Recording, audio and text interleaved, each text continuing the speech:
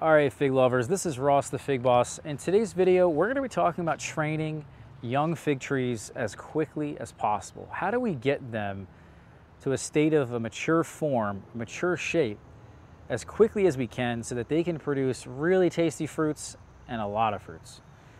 That's what we're talking about in today's video.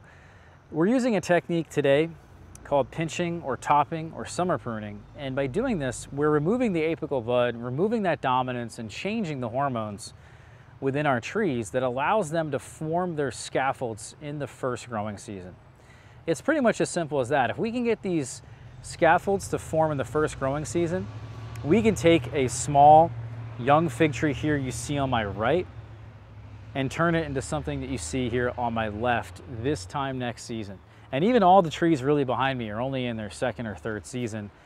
And a lot of them looked like this last year. They were, at this time of the year, it's, by the way, it's July 12th in the Philadelphia area. These trees are roughly two to three feet in height at the, roughly the height of my hip. And we're gonna remove, or we, we already have removed a lot of the apical buds here to encourage them to form their scaffolds now. And it's critical to do this now, but I'm gonna demonstrate the technique for you, and I'm also gonna show you guys three examples of trees we already did the technique on. But here's a tree first that we're gonna go to that demonstrates exactly what we're trying to achieve. What is the form that we want and how our trees are gonna look like this this year and then look like that next year. So this is a tree called Martinenca Blanca. It's in a five gallon size pot. You can see that the tree has a main trunk that comes up and then it branches out into three scaffolds because in the summer last year, I actually topped it. I removed this apical bud. There's even maybe even a little bit of a scar there. And you can see the three scaffolds that have formed as a result. At the beginning of this season, a lot of the videos that we did were talking about opening up the center of our trees and getting stakes and limb spreaders to open up the permanent scaffolds so that we can get better production on these figs. If we do both of these two things in the video that we're talking about, where we actually get the scaffolds to form in the first year, by the second year, we open them up like this, we open the scaffolds up, well then all these laterals and fruiting branches that form from the scaffolds, we're gonna have a lot of fruit set. And this tree, I counted them, there's about 65 fruits on here. In just the second season, in a five gallon pot. That's really impressive. Now I would argue that the variety Martinenca Blanca is a very, um, very productive fig. But uh, let's look at three examples now of three trees that we did this technique on not too long ago. This one here is uh, called Petite Bardenex, and you can see right down there, that's the scar in which we actually removed the tip. And then it formed these three scaffolds that you see. There's also some growth coming in here from the base, but I think that's not a result of what we did. That was just naturally growing. And so this one was performed about probably five weeks ago. We removed the tip. So you can do this even before the summer begins, officially. This is a tree we did this technique on about three weeks ago, and you can see where we removed the tip right there. That's where the scar is. We've got fruits that have formed. By the way, on this other one here, a lot of fruits have formed up and down that main branch. Same thing over here. We formed the, uh, the scaffolds as well as fruits. We have three main scaffolds that have formed, and that's perfect. We want to have at least three, three to five scaffolds that are going to form. And this is really a beauty here.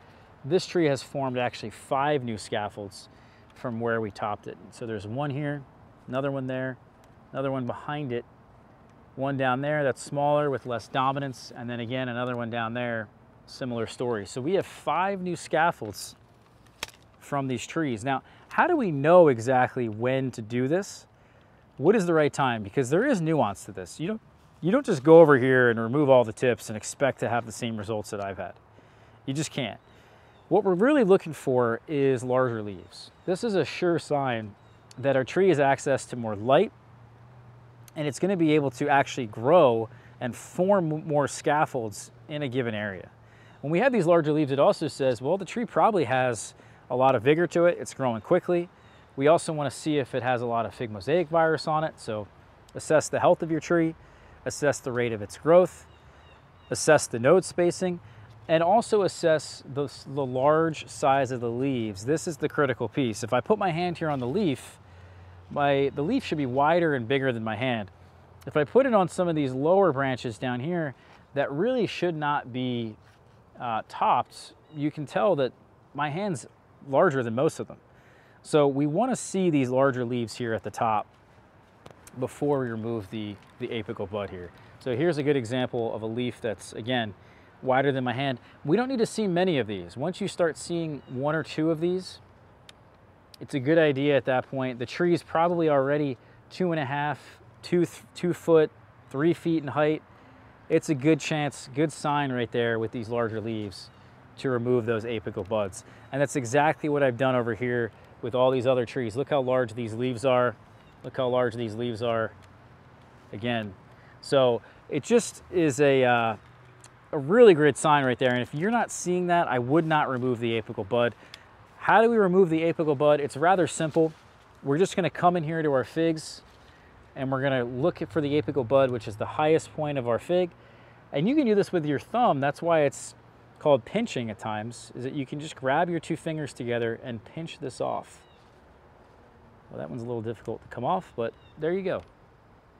And so you can do this with pruning shears. It's happening during the summer. That's why we call it summer pruning. It's called topping, pinching, and that's all it is. And in fact, that is the only pruning I do on these potted figs now for almost their entire life until they get to the size where maybe they're three or five years in and they could probably benefit with a little bit of pruning. Maybe I need to thin some things out here and there in the canopy, but for the most part, I didn't do any pruning on this Martinenca Blanca. I don't really do much pruning on any of the potted figs. That's it. It's just as simple as removing the apical bud in the summer. And you guys should do this now. This is a really great technique for, again, forming the mature size, the mature shape of your fig tree as quickly as possible. Please hit me, do me a favor, hit that subscribe button for me, hit that like button for me, and also check out the blog figboss.com. I have a companion guide. I've already written about this technique on the blog, and I'll put that link down in the description. Take care, everybody.